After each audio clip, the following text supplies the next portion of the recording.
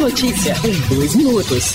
Levantamento do Ministério do Turismo aponta que o feriado prolongado de Tiradentes deve movimentar cerca de 1 milhão e 800 mil passageiros nos principais aeroportos do país, 38% a mais que no feriado de Páscoa. Guarulhos e Congonhas, em São Paulo, são os terminais mais movimentados.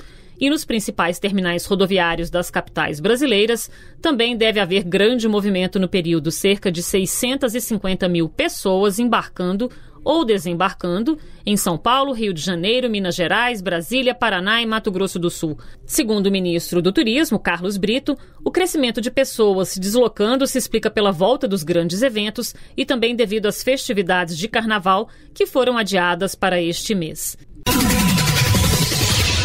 Estão abertas até o próximo domingo, dia 24, as inscrições para a seleção de colaboradores que vão compor o cadastro de servidores de apoio para atividades de elaboração do Enem 2022.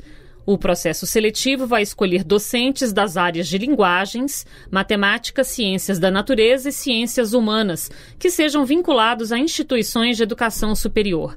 São 10 vagas no total. Para se inscrever, o profissional precisa ter diploma em curso de graduação de nível superior nas áreas de interesse do Enem, fazer parte do Banco Nacional de Itens do INEP e ter participado de capacitações para a elaboração de itens.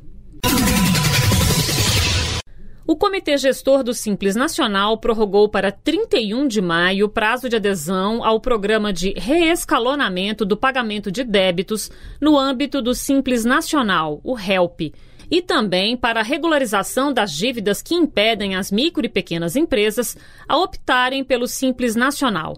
Também foi prorrogada a data máxima para entrega da declaração anual do MEI, o programa do microempreendedor individual. Agora ficou para 30 de junho. Da Rede Nacional de Rádio em Brasília, Lana Cristina.